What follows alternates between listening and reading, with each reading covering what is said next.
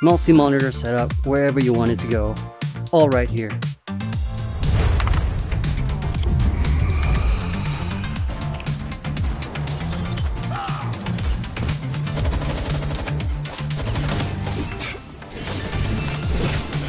Now I have a YouTube monitor playing this out.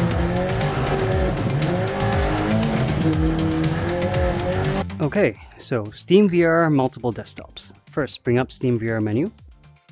Okay, and then here you can see desktops right next to recently played. Click on desktops. And here you can see all, this is your desktop right now, right?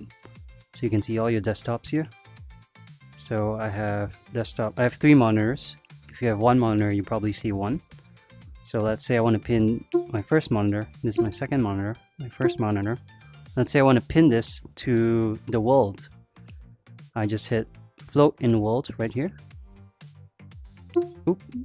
So now you can see it's in the world. And you can adjust the size like this over here. As big or as small as you want. Say I put it this size. And then click on this arrow button to drag it and move it anywhere you want in VR. Let's say I want to put it right here on the side and close using your menu button. So right now, this monitor is going to follow me wherever I go. If I turn my head, it's going to stay right there. If I move my body in real life, it's still right there. So it's staying here wherever you wherever you place it, and you can also interact with it like like this. You just click on it, you can move stuff around. So that's method one.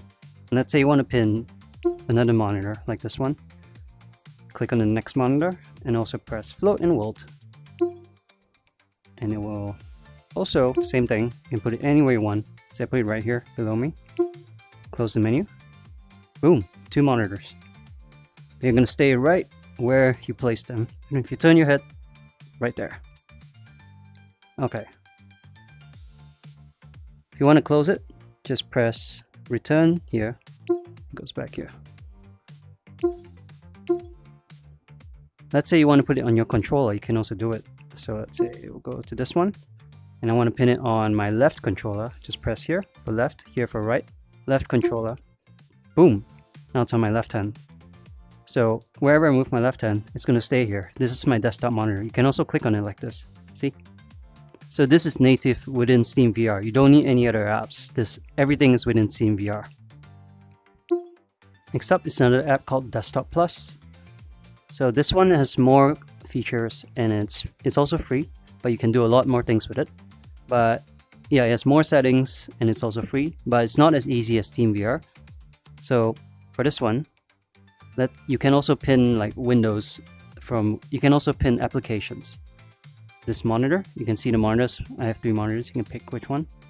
Let's say I want to pin this one, you press plus here. There's one here, you can drag it. And then you click on enable drag mode drag it anywhere you like. Up and down arrow to up and down arrow to make it smaller or bigger. You can also show the action bar here, you can show the keyboard. Okay, so when I close SteamVR, you see it's still right here. Same thing.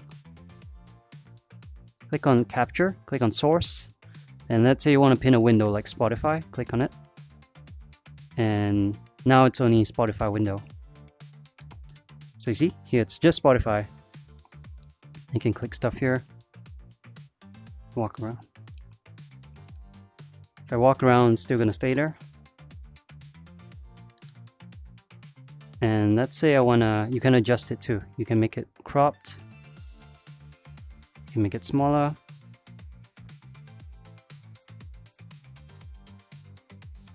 You can adjust the width, smaller width, the curve, fully customizable, opacity.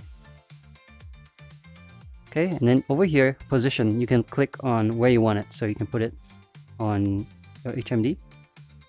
That means it will follow you right in front of you like this. You can see I'm walking around, it's right there. Or you can play around, there's so many settings. You can put it on your right controller. So now it's on my right hand.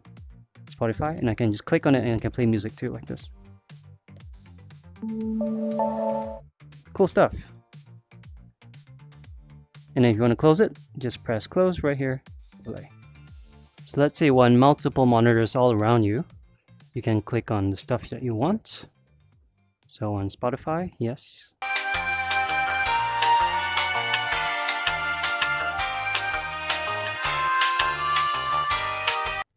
Okay, so now I got all my monitors, as many as you want pin. You can walk around and it's just gonna follow you around.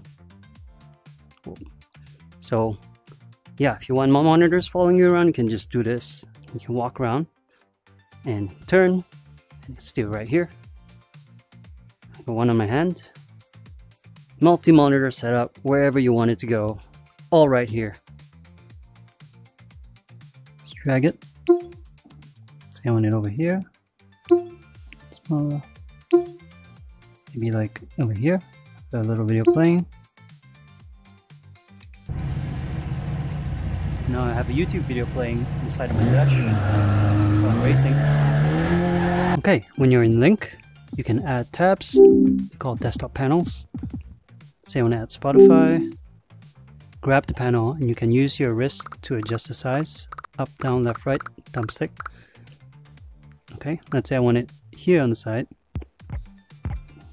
Turn it like this.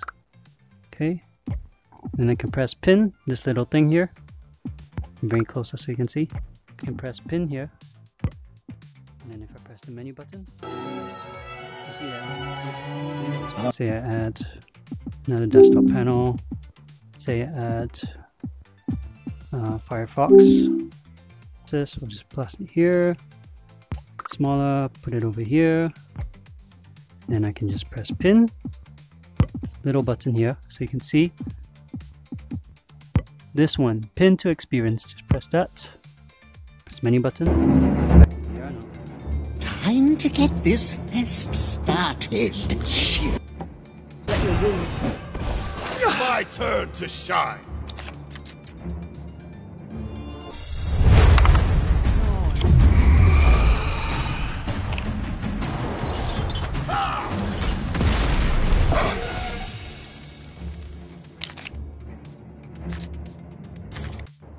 So you can use Open Kneeboard. It's a program that lets you pin monitors inside OpenXR games. So to do this, go to settings. You can add a tab. And you can add like a window if you want to add like a program. So let's say I want to play a game while playing another game or look at the game. Press capture this window. So now I can go to this game. Click here. You can see the game's running. So you see here in the bottom, there's a window. This is my game going on in the window. I have a screen here now. Around. So it's showing me the screen. If I look at it, it enlarges it. So you can attach like whatever you want, like window or video or something. A bit of experience, a bit of luck.